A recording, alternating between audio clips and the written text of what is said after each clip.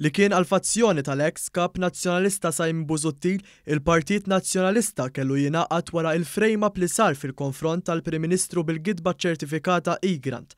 Dan ikkonfermah ċar u tond l-eks President tal-Eżekuttiv tal-Partit Nazzjonalista Mark Anthony Sammut meta waqt il-programm Extra qal li Adrian Delia qatt ma messu ssospenda lil Simon Busuttil u kellu juża dan il-mument sabiex jgħaqqad il-partit. Ewlenija fosthom id-deċiżjoni illi dakinhar li ġie ppubblikat ir-rapport ta' Egrant jitlob lil Simon Busuttil jissospendi ruħu.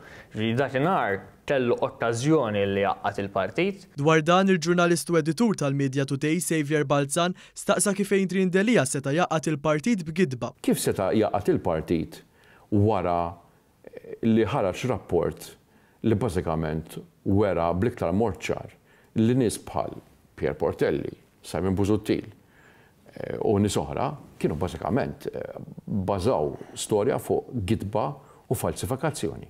Ma jgħidx hekk ir-rapport. Minkejja li f'sentenza, Sammut ikkonferma li fl-inkjesta Egrant kien hemm esponenti Nazzjonalisti li ppreżentaw dokumenti b'firem foloz Ftit tas-sekondi biss wara huwa qal li Egrant ma kinitx kitbha. Ir-rapport jgħid li ma sarx biżżejjed provi li l-Egrant hija ta' Le skużi, skużi, skużi, skużi, ir-rapport jgħid hekk. Jiġifieri jekk inti jekk inti qed taqra ilsien differenti, ir-rapport jgħid li jgħid li kien hemm falsifikazzjoni ta' Il-parti tal-inħolqot gidba Qed iżżidha, però, ma jidhirx ir-rapport. Hawn ukoll Balzan sostna li l-Maġistrat indipendenti sab li id-dokumenti li ppubblikat Daphne Caruana Galizia u li wara ġew ippreżentati minn Pierre Portelli kienu ffalsifikati b'firem foloz. Imma jiddispjaċini ngħid li meta nkun affaċċjat b'sitwazzjoni fejn persuna jgħidlu xi ħaġa li jiena narajtha black on white u inti tgħid l-oppost, hija falsifazzjoni, forged document. Waqt li Sammut kien qed jitkellem fuq il-passat dubbjuż ta' Adrian Delia,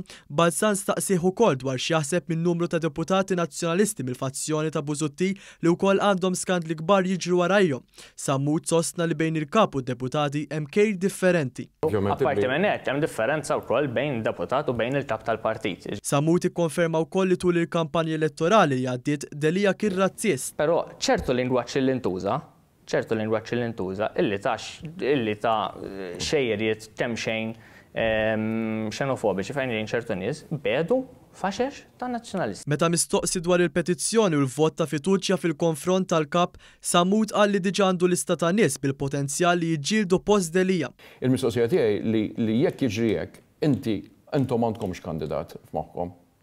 Jiena f'moħħi, opinjoni personali, għandi fuq aktar minn kandidat wieħed. Sammut ikkonferma wkoll il-biża' ta' ħafna Nazzjonalisti li l-partit tagħhom m'għadux jagħraf lilu nnifsu. Il-protezzjoni sa x'inhu? Naħseb hija l-ikbar problema li għandu l-Partit Nazzjonalista illi dik il-mistoqsija naħseb qas il-partit innifsu f'dan il-mument mhu kapaċi iweġibha.